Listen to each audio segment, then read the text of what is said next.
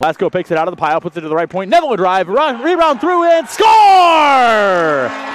The initial drive from Nick Neville trickled through Aaron Taylor, wavered on the goal line for a moment. Peoria pounced. The former Danville Dasher will leave it for Bo Walker, goes across left wing circle, backdoor Yakura score!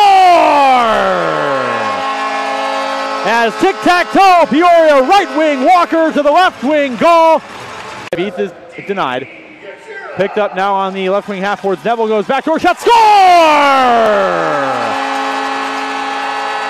As Neville from the left wing half boards put it across. Back out of the point, Kurtler. Back to the high slot. Neville winds up a drive. Score!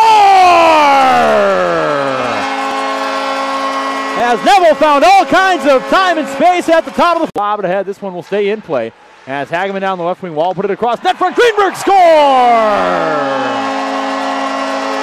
The puck bounced its way up the wall into the left wing of the Evansville zone. As Neville leaves it back down low for Ostroba. Now held back to goal. Walker sets it out front. Shot score! As Walker from behind the goal put it back out front to Ostroba. Right after Peoria. Center finds Rulavicius into the left wing of the Evansville zone. Rulavicius through the left wing circle. Puts it across. Beat shot score! As Rulavicius carried through the left wing circle. Put it out to the net front. Tipped up by Austin Vieth, his team leading 15th of the year. And with 4.40 to go here, period number three, it's all over but the